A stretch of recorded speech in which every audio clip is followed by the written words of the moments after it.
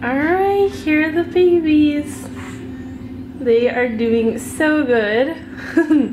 Little gold boy up front, silver boy in the back.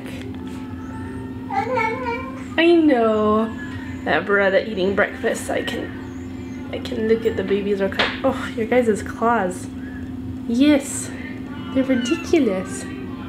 They are getting so big. I'm glad they're doing really, really well. Here. And they are extremely soft. I did not realize how soft they would be. Hi, baby. You are just darling. Look at you. I know. I'm sorry, I'm obsessed. Put you back. Beretta is an amazing mom, so we're really happy.